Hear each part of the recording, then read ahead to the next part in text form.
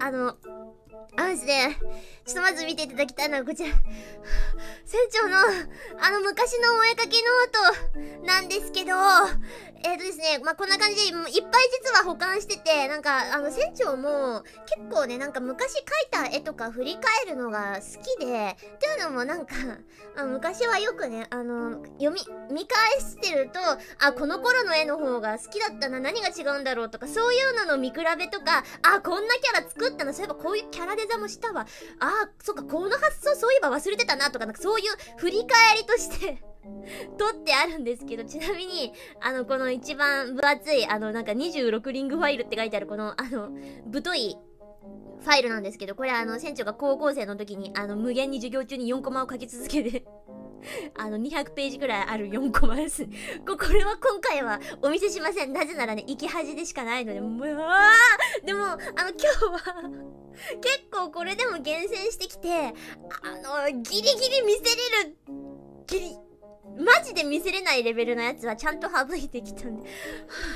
では、小学生時代のあの、小学生の頃、あの、船長がね、お絵かきノートを作っていて、それをね、あろうことか あろうことか、あの、クラスのね、みんなにこう、配ってですね、配ってっていうかもう回し読みさせて感想を書き込ませていたっ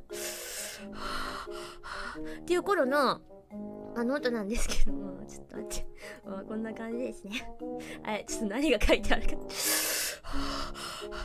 注意書き。このノートは、えこのノートは男子にはあまり見せてほしくありません。優しい人は男子に見せないでね。ハート。あと、私がポケモン桜大戦にメロメロになっているのを見てムカつくという人や意味不明という不快な心になる人は見ない方がいいと思います。汗。あと、ポケモンの感想は大抵あるので汗。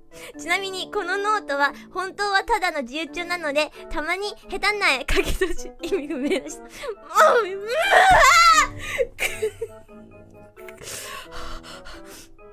いろいろありますが、見るからには、それくらいは、まだまだなお話なので、何言ってんのね、ちょ、理解、理解が及ばない。ちょ、何言ってるかちょっと理解できないんですけど。あ、あと、漫画は大抵途中で終わりますが、そこも我慢でお願いしますね。感想の書き込みは暇な人書いてあってもいいよという人だけでいいです。でも、なるべく書いてほしいんですが、この圧が 圧が、では PS たまに逆さにして読まなきゃいけないページがあります。はい、これ、あの、ポケモンの、あの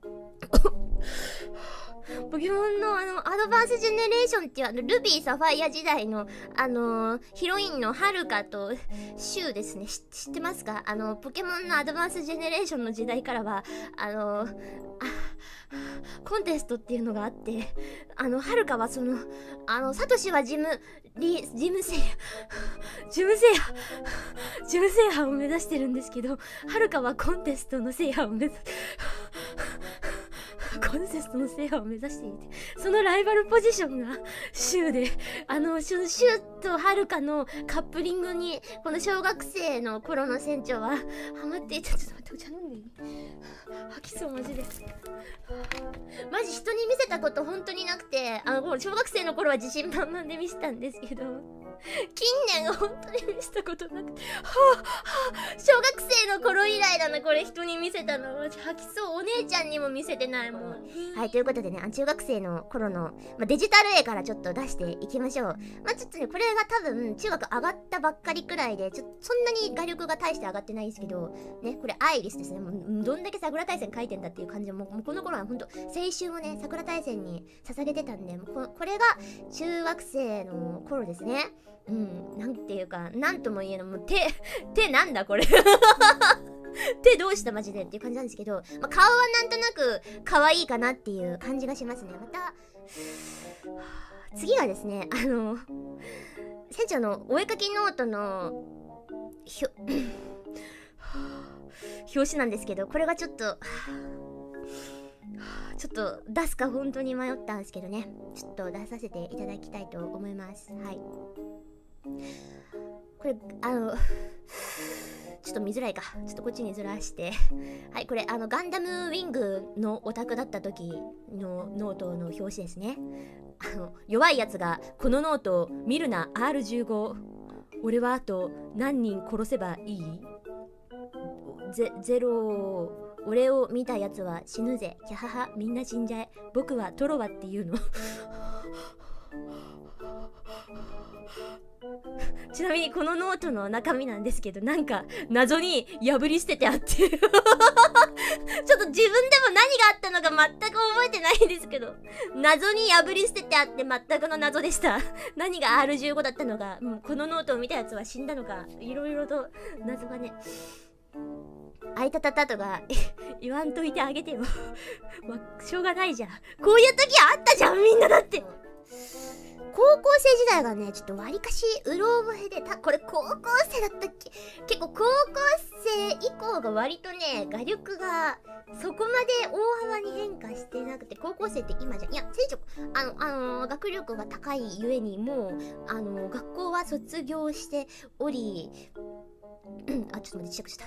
えーですね。はい、じゃあちょっと出していこうと思います。これ何だったっけな？ちょっと、はい。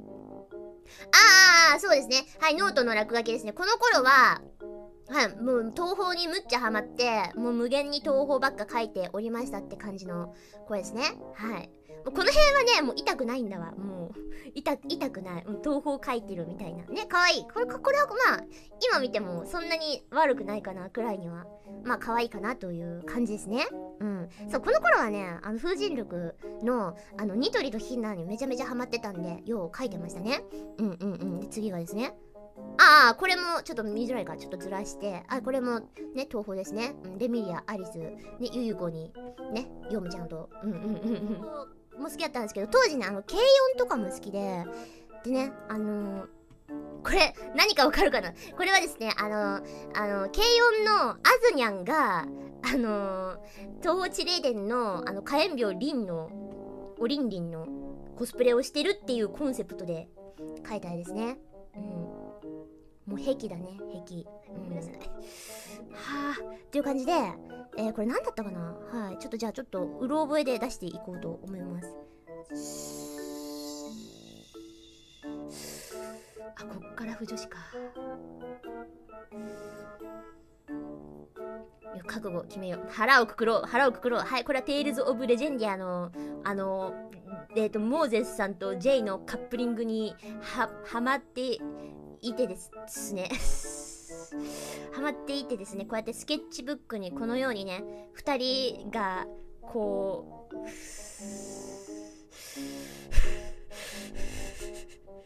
いや、違う。あこ当時はちょっと、不女子の面があったけど、今はね、もう卒業したから、違くて、唐突に腐れな。じゃんあ違くて、あの、いや、あの、昔から、腐ってはいたんですけど、こうやって自分で絵にしてしまうレベルに達したのが多分この頃くらいで、はい。うー。ということで、じゃあ、最後に、ちょっと近年のイラスト、なるべく時系列順に並べたつもりですけど、ちょっと前後があるかもしれません。ちょっとなるべく、時系列順で、はい、近年、はい、17歳ですね。あ最近描いた、ね、えー、船長がデビューしてからのイラストをね、まとめてみました。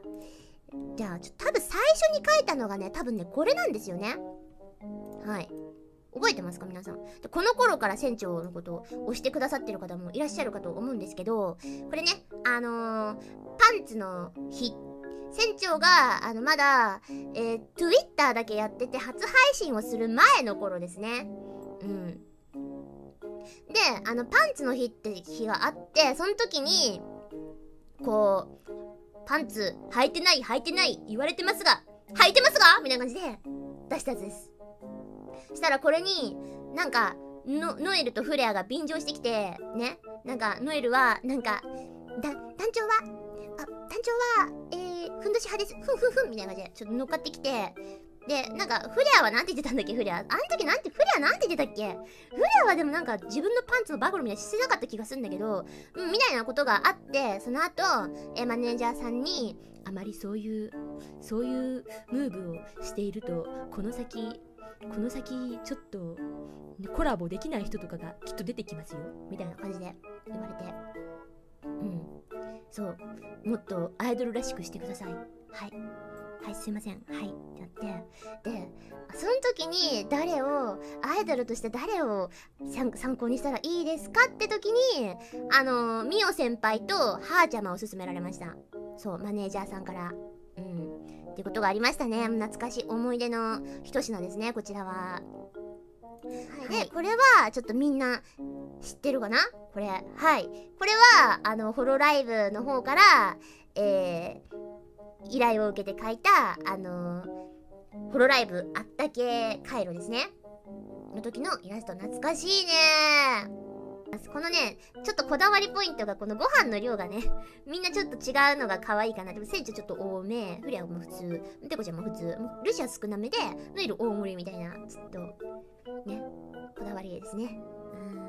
ねえ、懐かしいねこれ。このペみんなめちゃめちゃ可愛く描けたかなって、自分的には思ってるんですけど、特にお気に入りのお顔は、このルシアので、この刃がちょんって出てて、このね、目のね、奥行き感がね、好きなんだ、自分的に。うんうん。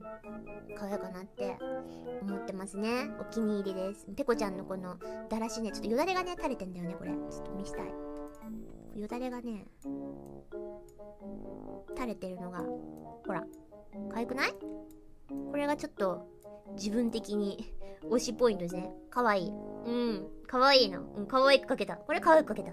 そうですけどでもあの君たちも言ってくれた通りあの高校からあちゃしゃ、えー、高校から社会人でガラッと上手くなったって君たち言ってたと思うんだけどやっぱりね何も考えずに書き殴ってる時と比べて一生懸命なんか勉強したり考えたりしてこうかなこうかなっていろいろ考えて書いてからの方が経験治療が違うというか成長幅が大きいと感じました。なので君たちもがむしゃらに枚数書けばいいんだっていうよりはなんか自分の中でいろんな発見をしながらこうした方がいいなとかあこの方がうまく書けるなとかいろんな自分で発見をねしながら書いた方が圧倒的に成長するんじゃないかなって思います。